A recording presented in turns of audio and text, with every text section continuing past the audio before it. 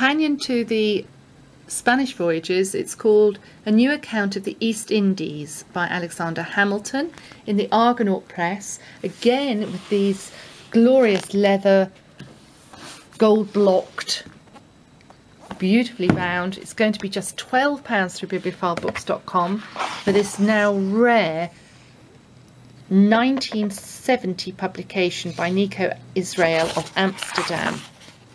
It's a facsimile of the 1930 Argonaut Press original. It's now edited with a new introduction, well, not new, uh, a 1970 introduction by Sir William Foster. The two volumes are bound together here. The importance of Alexander Hamilton's account of his experiences in the East 1688 to 1723 was written after his great voyages through Europe to Barbary and to Jamaica before finally going in 1688 to the East Indies in his early 20s. That's a facsimile of the first volume.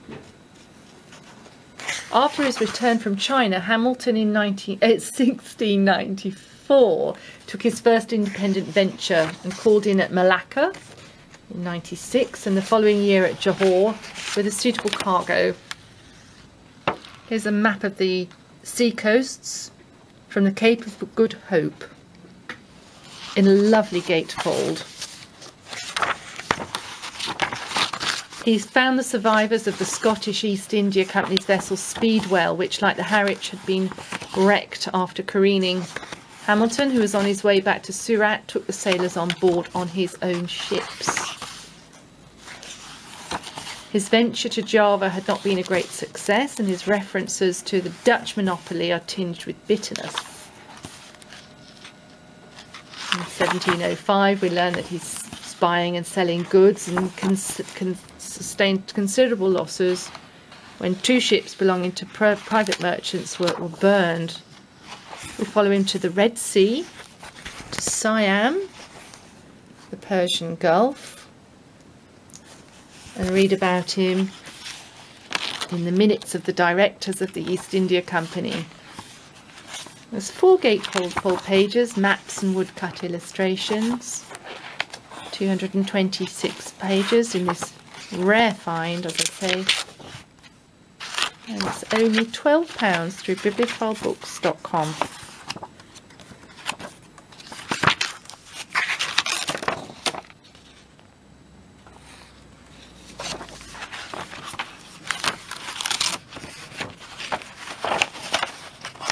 a map of China and Japan. People don't spend this much money producing books like this anymore. Really very, very rare. So bag your copy while you can from Bibliophile Books for just £12.